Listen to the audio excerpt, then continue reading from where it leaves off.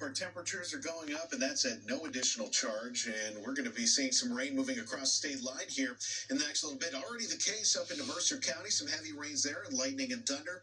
Also, a severe thunderstorm warning that goes right up to the state line at this point. There are some gusty winds in these storms, but as they move off to the east or in our direction, they're going to lose a little bit of steam. But you can see uh, Greenville down to Hermitage getting some of that heavy rain and a lot of lightning and thunder as you get back into uh, parts of Ohio just outside of the Youngstown area where we have that severe thunderstorm warning, which remains in effect until 11 o'clock. But as we look outside, you're going to see these temperatures generally in the mid to upper 70s still at this hour and still with high levels of humidity. And as we look off of uh, the top of Gateway Center, there's some uh, lightning in the background, and of course, it's going to stop for a minute because we're on TV there so but uh, 78 degrees mostly cloudy skies those thunderstorms are moving towards us so some rumbles of thunder uh, periods of heavy rain um, these are moving into an area that's that's really not good for severe weather, so they should lose a little steam as they inch closer to us. With these showers and thunderstorms that are going to be here or there as we go through the night, but the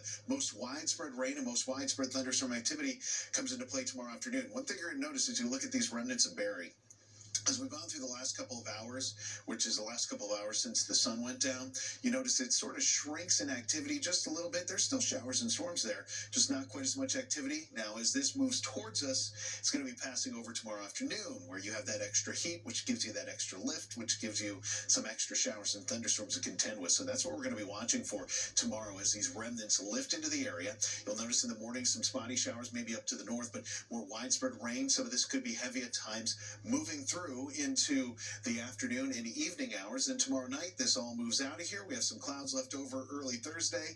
Then we're going to kick those to the curb, and we're looking pretty good sunshine wise. But the humidity levels are going up, the temperatures are going up, and we are looking at our hottest stretch of weather since last September. So these are the hottest days of the year coming up so far as we get into the next couple days. It's going to feel like the low 90s come Thursday afternoon, even though temperatures are going to be in the upper 80s. It's going to feel like triple digit heat once we get into Friday afternoon and Friday evening, and pretty darn close to that on Saturday. So we have some very hot weather on the way, and it comes up in the next couple. So warm and humid tonight. A few thunderstorms around 72 degrees tomorrow, 83 rain and thunderstorms. A lot of that activity coming in the afternoon, but uh, there is going to be some spotty activity around for the morning hours.